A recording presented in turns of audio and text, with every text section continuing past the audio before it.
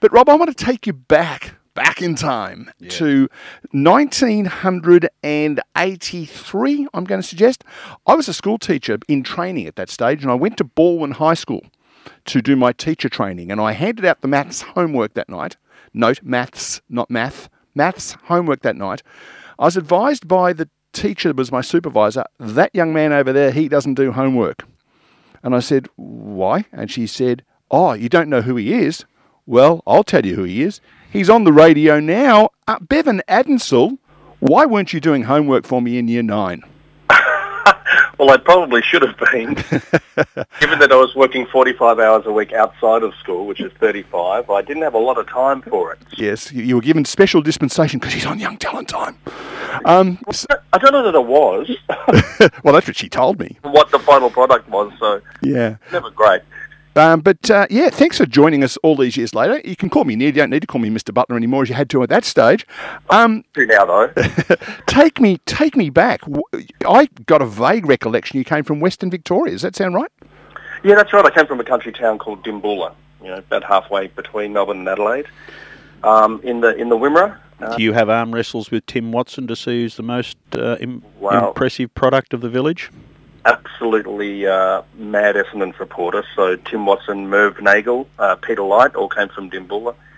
I spent the day with Mark Harvey yesterday. He, um, he speaks very highly of all of those lads that come out of that neck of the woods. Absolute legends, yeah, absolutely. Uh, uh, in in fact, because Tim's a little bit older than me, um, but when he was, because of course he started at the Bombers when he was 15, um, but he uh, came and gave the juniors at Dimboola a, a training session once, and I'll never forget it. You know, you know my idol Tim Watson was training us so back in Dimboola. That was fantastic. So we've got to get this out of the road early. So that uh, you and I were in, in and High in 1983. Have Essendon won a final since then? Sorry, it had to be said. It was there. It was hanging out there to dry. No, they didn't. They, they were, got to the grand final in '83. Oh, that's right. They did too, didn't they? And then they They were did. next two premierships. And 84, okay, yeah. and 85. Yeah, okay. No, bad joke. Blew up my face, didn't it? Um, Not three and 2000, but apart from that, yeah, I was well, happy to talk about 2001. If you'd like to talk about that one, I was there. Um, I'm a Lions man. So, uh, so you, you, you're going to school in Dimboola. Obviously, you can sing and dance a bit. Uh, take us forward from there. Yeah, well, I my, my I, I love sport and music. Uh, my dad was a musician. Uh, I was also very good at, at sport, and uh, I was uh, in the, the school cross country, and I, I ran that and won that. And then they went. We went to the um, the um, the you know the the regional. Uh, Yep. Won that, and then we went to the All High, and then came down for the Victorian Championships. And while we were down, we were staying at some friend's house, and this is from Dimboola, in Melbourne.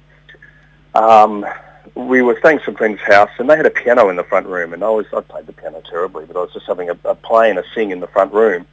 And they had seen in the newspaper that John Young, uh, obviously the host and executive producer of Young Talent Time, was looking for a new boy for the team.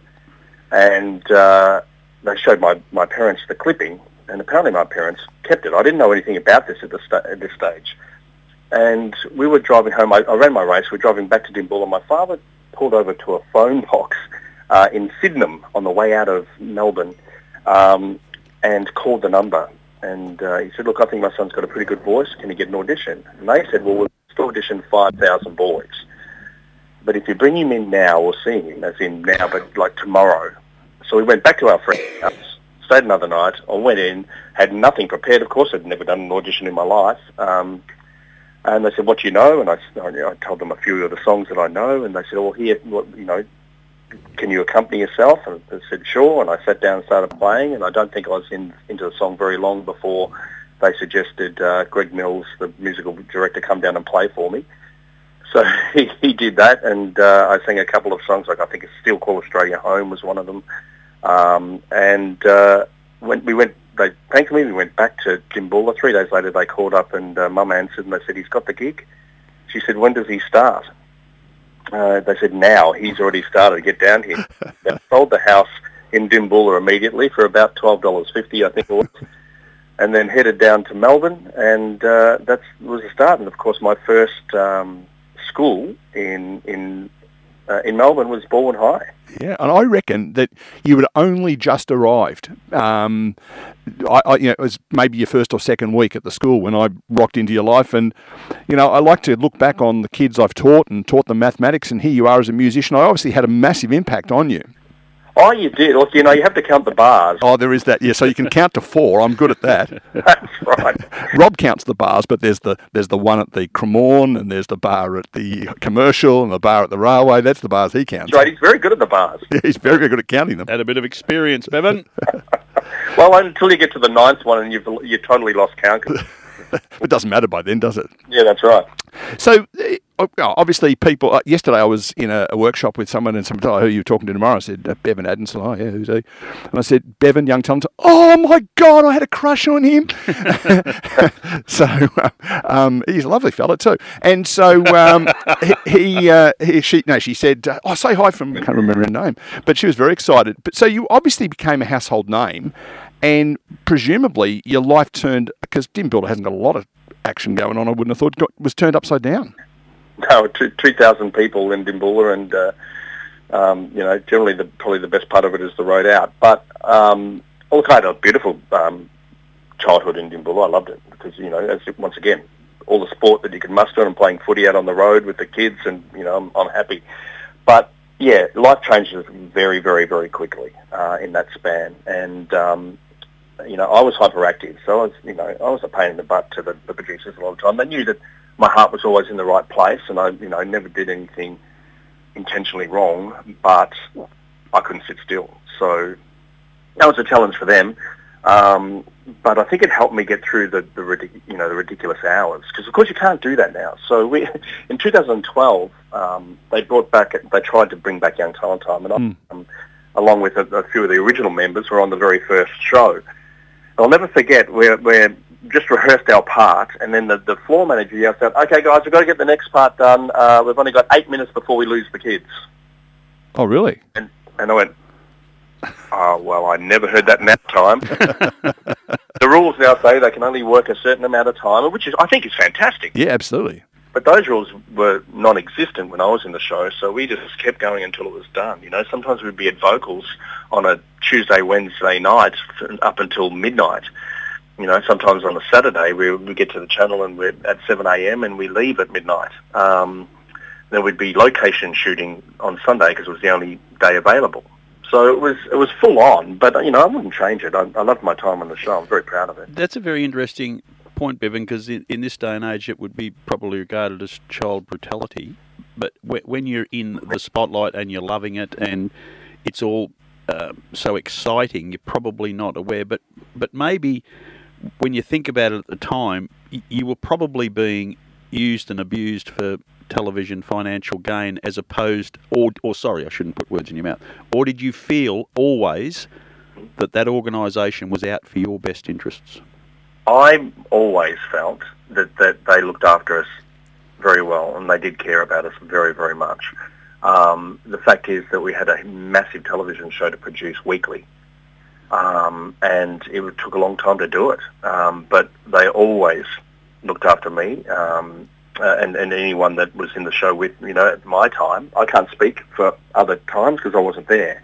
Uh, but I, I couldn't have asked more from them. I guess uh, these days there's a little bit more awareness of, of the you know the amount of time that kids can work and, and for their, their own benefit and their own health.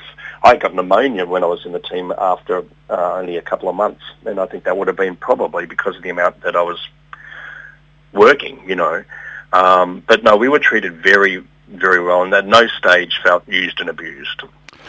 I guess the you know kids now they're they're going to school the same hours that you did. You know, start at nine, finish at three thirty, and then they go home and sit on the couch and pick out pick up their phone. Outside of your school hours, what sort of hours a week were you doing? Forty five hours, about on a on a sort of normal to busy week. Because you you would record the vocals for all the songs. Because we were dancing and everything, we couldn't sing it live. It, could, it would have been a disaster to try to get it right. Yep. It's so we recorded all the songs. I mean, I, myself and Tina Arena were the only two that went through a period of doing our solos live vocal because we would walk into the um, into the studio and, and sort of record it in one take and walk back out again. So they went, well, we don't. Why don't we just get them to do it live? We don't even have to pay for the studio. Mm. But we'd be Monday, Tuesday, Wednesday would be vocals after school. Um, then Thursday, Friday we would do dance rehearsals. Now vocals would go to any anywhere up to midnight sometimes, um, but generally, you know, probably ten o'clock. Um, then we'd go home, go to school the next day, and then we would do uh, Thursdays and Fridays dance rehearsals with Maggie Burns and learn all the dance routines for the show. We generally finish about 7.30, I reckon, um, you know, start at 4. Because, uh, you know, it basically my parents would pick me up from school. We would either go straight to rehearsals or I'd race home, have a very quick shower, put some clothes on and head straight off to, to uh, wherever we were going, whether it was vocals or, or rehearsals. And then Saturday we'd be at the channel quite early and we would, you know, do all the recordings and all the, the, the you know the side filming and then do the show that night um, and that would be anywhere near you know anywhere up to tw- midnight by the time we would leave and then on Sunday if, if there was any location shooting that had to be done that's when we would do that generally I got Sundays off but I was in the team for three months before I got a day off wow that's extraordinary isn't it yeah and and I I did some research for this program, Beven. It's, it's, an unusual occurrence. That's how special you are. I actually went onto onto what my father used to call the YouTube, and found uh, an episode that featured you, and it was recorded at uh, Dreamworld. All right. Yeah. Now, uh, keep, keeping aside the fact that you're doing 45 hours a week, having to fly to Queensland to do Dreamworld and do all the stuff there, and it was obviously done during school holidays, but you know, I guess that would just be complete immersion, those sort of sessions. Well, we did national tours, and that's and we, obviously we would do those in the holidays. But um, we loved the tours. I mean, we would, you know, we'd do a free concert. Um, at, I think it was Albert Park in Brisbane to you know 50, 60,000 people, um, and then you know we would do five back to back at the Sydney Entertainment Centre, which is thirteen thousand each each concert. So I mean, it was huge. And you know, you, I remember that that Brisbane concert coming out. I, I remember the song I sang was um, "I Want to Know What Love Is" uh, by Foreigner, and I walked out, and we had thousands of watts of music, and I could not hear the music from the screaming of the fans. It was like the Beatles. So we went to. It was an incredible experience. Um, so for me, I feel like well, we we used to love doing the concert tours because it was just so exciting. You know. The, uh, the show ran for 12, 15, 17, yeah, 18, yeah, long time. Uh, so lots of names and faces went through. By the time you come in, it's a it's well renowned, and there there would be a lot of household names came through it. But um, yeah. do you still have the connections with any from, from your time, or have you just all gone your separate ways? I do actually. In, in, during COVID in 2021, I co-produced uh, uh, the 50-year reunion because uh, Young Talent Time started in 71. I started in 83. Um, and by then it was a juggernaut. You know, the mm. five years of Young Talent Time were the biggest as far as, you know, it was the huge.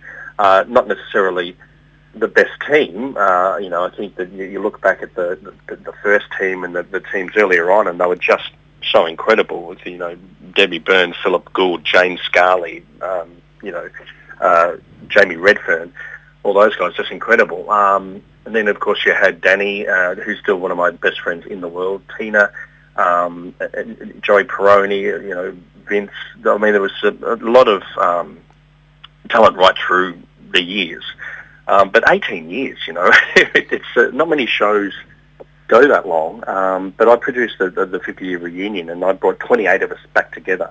There were some people, uh, sadly two of our um, young talent time, all three now, but at the time of, of doing the reunion, uh, Bobby Driessen, uh, sorry, Bobby Driessen's passed since, um, but um, Julie Ryles and Juanita Coco had passed, so uh, Karen Knowles and I sang uh, You'll Never Walk Alone did a tribute to them with all the, the, their footage in the background, which was really emotional. But it was beautiful to be back together, um, and you would not have thought a day had passed it was, I mean, I was really busy because I was producing it, so I was sort of up and down, but every time I walked into where everyone was, they all just had smiles on their face and there's hugs and there was, it was really special, to be honest. Sounds a bit like a, a school reunion on steroids, I, I guess, because you yeah. spent so much time with each other. Yeah, well, we spent a lot of time, more time with each other than we did with our school friends. And I just will back out of that and say there were no steroids involved, folks, in case I meant that in the nicest possible way. no, I, no, I, absolutely not. so, so Beven, we we we talk a lot here about um, uh, athletes in the in the the spotlight, and then the world stops, um, and there's nowhere to go. You've you've had uh, somewhere to go after it. You're still still singing. You're probably up and down a bit with your career, but for many, I suppose it did stop uh, at, uh, straight after Young Talent Time. There was nowhere else to go, or maybe no desire to go anywhere else. But I, I guess in amongst the group, and you'd have found out at reunion time, there would be many, many different outcomes from from the time on Young Talent Time. Yeah, look, there, it really is, and it's very mixed. Um, of course, as we know, there's there's quite a few young talent timers that still perform and have made a very successful living. Um, there's others that still perform and you don't hear about them much anymore as as much. And there's others that went on to, to wonderful other careers. You know, Courtney um, is a, is a nurse. Uh, Vanessa is a, is a teacher in in Brisbane. Um, and these are all really important jobs. And, and there's a lot of people say, oh, you know, you, you don't have a career anymore. It's like, well, wait, wait a second. Yes, they do. Yeah. It's just yeah. not in entertainment. And it's probably a more important career than we have. You know what I mean? So, um, but as kids, I think it would have been really hard for quite a few where it just stopped and then they had really nowhere to go. Um, I think it did, it, it, it probably hurt the psyche of quite a few of the the team members. Um, that was I felt really bad for the younger ones that had just got into Young Talent Time. They're thinking, obviously, you know, what's going to be my career? It's going to be amazing. And then Young Talent Time gets axed in '89, and it's like, well, thanks, guys. It's it's over. Mm. It's lucky. I, you know, Danny left two weeks before me. I left uh, three months before the show finished. So I had my farewell, and I went straight on into a musical theatre production, and then I became a pro- professional golfer and then um, realised that I'm a better singer than I am a golfer, and then went back to the singing. um, and I've, I've sung, you know, I owned the event company on Hayman Island for a decade, but I was all, I've always been in entertainment and, and you know productions and and because uh, I did you know I produce things as well. But so for me, it's it's it's it's been fairly solid. I've never really been out of work, um, but it is hard. It, it really is. Like right now, I've you know I'm I'm lucky enough to have a really sought after show on, on the cruise ships. I have two different shows and um, if I open my, my diary I could be basically working every week of the year. But then I would never see my family, I'd never see my wife, my kids, my, my friends. Uh, so that's got to change, and but it's it's it's been harder than I thought. Even though I've got a really strong show, and I sing better now than I ever have, it's it's tough out there to try to get the, that work. And I've just you, you, thank you for playing both sides now. It's that's my new album um, that I've just produced. In fact, the CDs are on their way in the next week, um, but it's, it's available on my website. But it's it's surprising. I, I thought it would probably have, have sold a little bit stronger when I first started. Um, it's picking up now, but it was it's um, really interesting talking with some of the really the, the true greats that have done, you know been around so long in the entertainment industry and what I've started saying when I do performances now is saying this, I'm not talking about me personally, but if you like somebody from the industry and you, you know, you've got wonderful memories of their music or something and they're still performing and they're doing a show somewhere, if you can afford it, and that's the big if, because, you know, living costs are heart for everybody, and you're sitting on the fence as to whether to go or not, please go. And the reason is because if you don't, they will not be able to do this anymore. Many out there that are living gig to gig and trying to pay rent, and they're supremely talented. But there's so many too that uh, I I was talking to um, Andy Podger, a good friend of mine, who's a wonderful. He owns a piano bar in Geelong. He does indeed. Yes. Uh, we love Andy. He's awesome, um, and I do a lot of a lot of work with Andy. But he, um, we're talking about different names that we both know that are just supremely talented that are no longer in the entertainment industry because they couldn't make ends meet.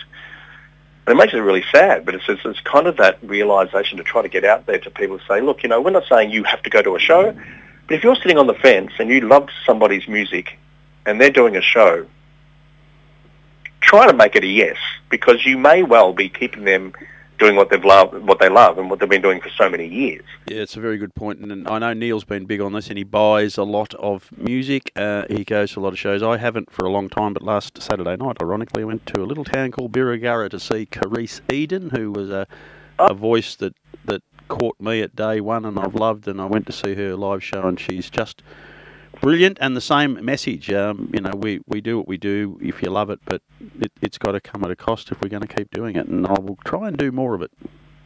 Yeah, well, even little things like this album, a lot of people have said, um, why, why isn't it on Spotify? And so, well, a lot of people these days will put albums out, it's, it's kind of like a hobby, where others are doing it for a living. Yep. Now, you know, I put it on Spotify, and uh, for a million listens, I'll get 700 bucks. Yeah, and that works really well for Taylor Swift, doesn't it? And that's about the extent of it. Exactly right. Yeah, absolutely. No, we uh, we have a policy here. I didn't have a chance because you and I were running a little bit close to the wind this morning, but uh, we have a policy that if we're going to play an artist song, we will buy the songs through the streaming service or whatever. So certainly, once your album's out, let's know and whatever. You'll get a, a purchase from me because it's uh, it's important that we do that, folks. If you if you if you stream, you're cheating. That's really what it comes down to. Yeah. Yeah. Okay. Beven gets you know point oh oh oh seven of a cent if you play it, but you know, these are people who are doing it for a living, as Beven has said, and uh, get along to gigs is really important. I noticed um, that you did a gig, or just come off a series of two or three gigs in Byron Bay with someone called Benji Addinsall. That's funny. It's coincidental that they've got the same surname.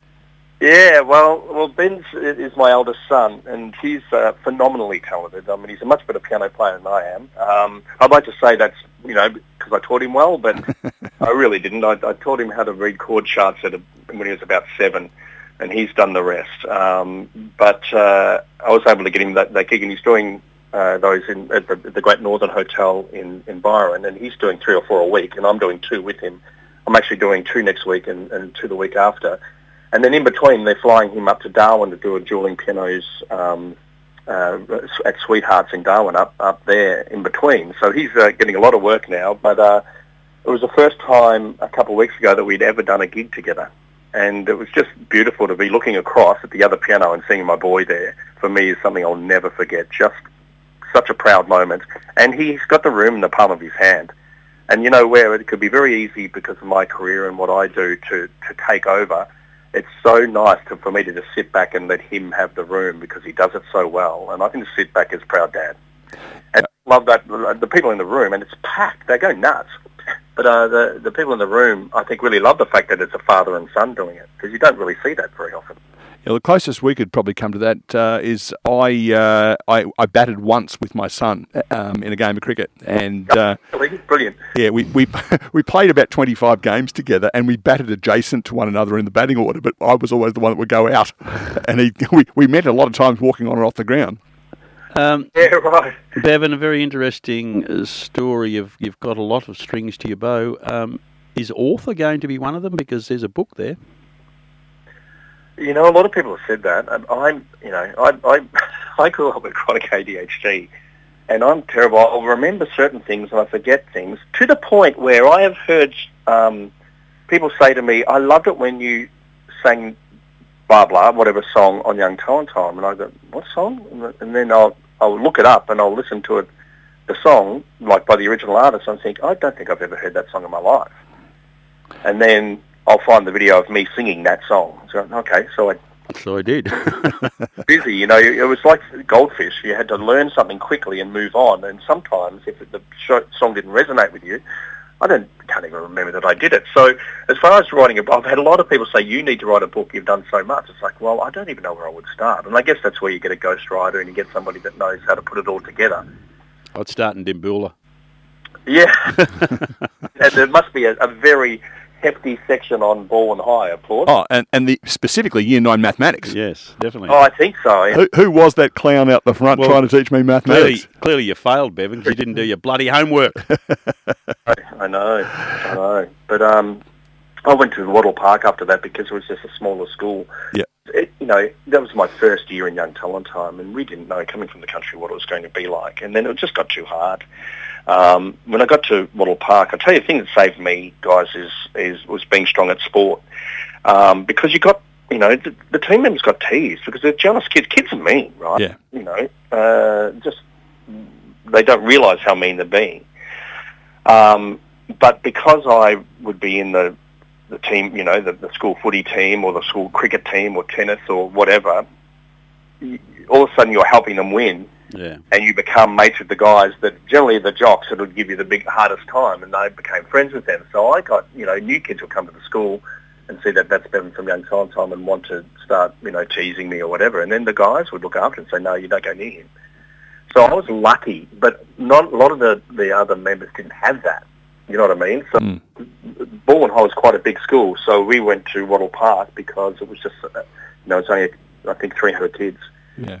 So it was just a smaller place for me to be able to try to navigate. Slightly close to Channel 10 too, I would have thought, out there in Nunawading. Yeah, that's right. Yeah, well, we moved house from Balwyn to Surrey Hills. So, Ah, right. Yeah, a bit closer again. yeah. Yeah. Hey, Beven, we've run out of time. We've been having a great chat, and I've just looked at the time and thought uh, we better get going because we've got to talk to some other people. What an absolute thrill to catch up with you after all these years. Just to put that into context, that's 41 years ago that you and I stared across the desk at one another. Um, You said it's only 15. let's see if we can uh, catch up before the next 41 years goes past because uh, I won't be around at that stage. No, I'd love it, guys. Anytime you wanted to have another chat, I'd be more than happy to. Thanks, Beven. Congratulations on a wonderful career that's still going, and it sounds like you might uh, have produced another good one as well. Yeah, look, I would say if you don't mind me just saying too, if anyone does want to download my album, they can do now on my website. And my name, Beven, is spelled like seven with a B. So B-E-V-E-N dot com dot au, and they can download the, the album. No, you can't say that. No, sorry, we, we don't promote albums, but uh, no, we don't. I'm joking. Uh, beven.com.au, B-E-V-E-N.com.au. Uh, we've already heard one song, which we uh, was a duet with Shandell Cook. We are now going to hear the song that you sang on the uh, 50th anniversary. Uh, it is uh, You'll Never Walk Alone. Name, uh, no, not name of the album. Both sides now. Name of the album. Talk to you soon. Thanks, Beven. All right, bye, guys. Thanks, mate.